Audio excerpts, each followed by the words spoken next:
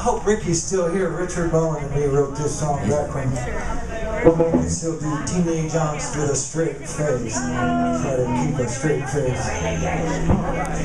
I wrote this when I was 19.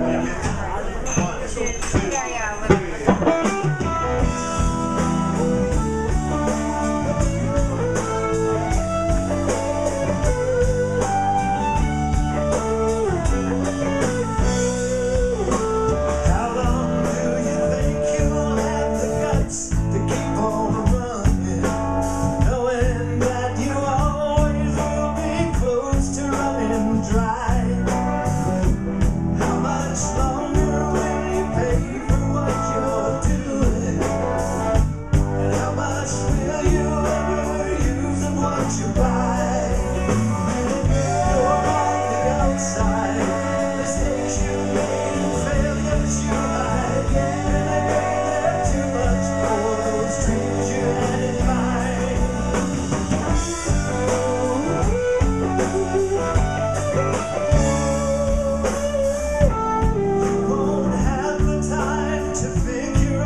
church boy.